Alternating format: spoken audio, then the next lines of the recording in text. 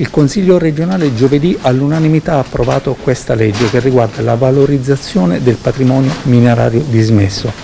Approvata all'unanimità, naturalmente va il ringraziamento a tutti i consiglieri regionali, ma va anche la sottolineatura che si tratta di una legge importante. Cinque regioni soltanto, prima dell'Abruzzo, avevano una legge che tutelasse la sicurezza e la fruibilità di tante miniere dismesse. In Abruzzo sono 40 le miniere dismesse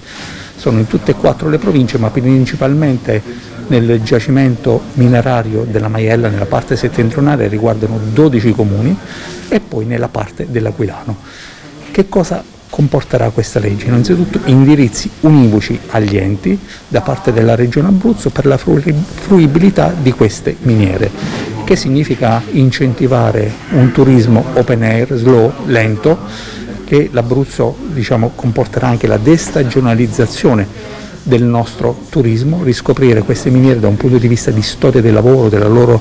morfologia, ma anche della loro importanza naturalistica. Voglio ricordare che in particolare le miniere della parte settentrionale della Maiella spesso sono state individuati tra i 90 geositi del geoparco dell'UNESCO e quindi sono importanti anche per questo, ma possono soprattutto rappresentare una testimonianza di quella che fu la storia del lavoro di tantissime donne e di tantissimi uomini che hanno lavorato in queste miniere e che proprio forse per l'abitudine a lavorare queste miniere poi andarono in Belgio a Marcinelle e gran parte diciamo, delle persone che sono decedute purtroppo nella,